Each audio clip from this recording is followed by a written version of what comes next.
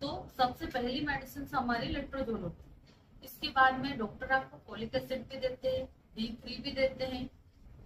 इसके साथ ही आपको जैसे क्यूटेन एलसी और डुफास्टिन इस तरह की मेडिसिन देते हैं, जो कि पेशेंट की कंडीशन पर डिपेंड करता है। जैसे कि क्यूटेन एलसी या क्यूटेन में ही कॉम्बिनेशन रहता है तो डेली एक टेबलेट एक महीने के लिए दी जाती है। लेट्रोजोल ओनली फाइव डेज़ के लिए देते हैं, यानी कि ओनली पाँच दिन के लिए देते हैं। डूफास्टोन टेबलेट पीरियड के 16 दिन से 25वें दिन तक देते हैं, यानी कि 10 दिन के लिए देते हैं।